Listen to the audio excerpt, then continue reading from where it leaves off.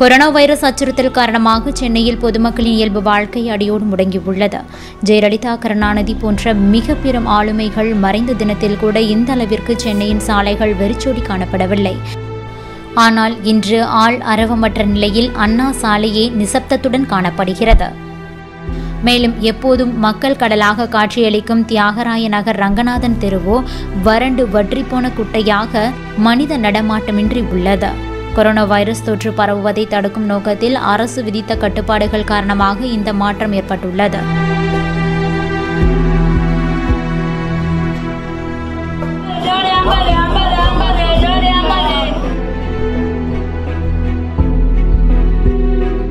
இது மட்டுமின்றி சென்னையில் உள்ள அனைத்து வணிக வளாகங்களும் மூடப்பட்டிருப்பதால் வீட்டிற்குள் அடைப்பட்டிருக்க வேண்டிய நிலைக்கு தள்ளப்பட்டுள்ளனர் சென்னை வாசிகள்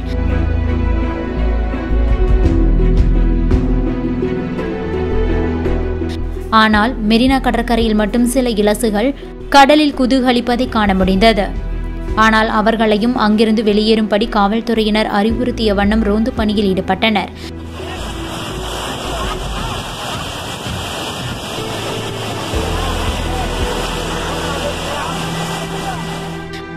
மற்றபடி பேருந்து நிலையங்கள் ரயில் நிலையங்கள் என அனைத்து இடங்களும் வெறிச்சோடியே காணப்படுவதால் அதற்குரிய அழகையே அந்த இடங்கள் இழந்து நிற்கின்றன. கொரோனா வைரஸ் என்ற கொடிய நோயிலிருந்து பொதுமக்களை பாதுகாக்கும் நோக்கில் சென்னை மாநகராட்சி சார்பாக கிருமி நாசினிகள் சாலைகளில் தெளிக்கப்படுகின்றன.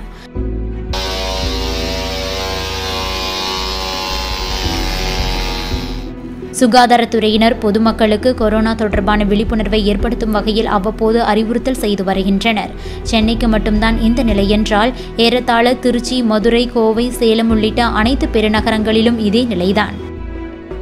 அங்கும் பொது இடங்கள் அனைத்தும் மக்கள் கூட்டமின்றி வெறிச்சோடியே காணப்படுகிறது. இதனிடையே கொரோனா வைரஸ் பீதி காரணமாக ஆட்டோ மற்றும் கால் டாக்ஸி ஓட்டுநர்கள் பெரிய அளவில் வருவாய் ஆதாரத்தை இழந்து வருகின்றனர். இப்போ இந்த கொரோனா வைரஸ் அச்சுறுத்தலால் வண்டி ஓட்டமே இல்லை சுத்தமாக நான் இன்றைக்கி பார்த்தீங்கன்னா காலைல ஏழு மணிக்கு எடுத்தேன். ஏழு மணிக்கு எடுத்து நாற்பது ரூபா ஓட்டி. இது ஏதோ ஒரு நாள் ரெண்டு நாள்லாம் மேனேஜ் பண்ணிடலாம். இது ஒரு பத்து நாளாக நீடிச்சிச்சுன்னா ரொம்ப கஷ்டம். சமாளிக்கவே முடியாது. இதேபோல சாலையோர வியாபாரிகளும் அன்றாட வருவாயை இழந்து பரிதவிக்கின்றனர். மேலும் சிறு குறு தொழில் நிறுவனத்தினரும் வங்கிகளுக்கு அடுத்த மாதம் வட்டி மற்றும் இஎம்ஐ தொகையை எப்படி செலுத்துவது என தெரியாமல் விழிப்பிதுங்கி நிற்கின்றனர். இதையெல்லாம் கருத்தில் கொண்டு வங்கிகள் வட்டித் தொகை மற்றும் இஎம்ஐ செலுத்த கால அவகாசம் தர வேண்டும் என்பதே நடுத்தர வர்க்கத்தினரின் எதிர்பார்ப்பாக உள்ளது.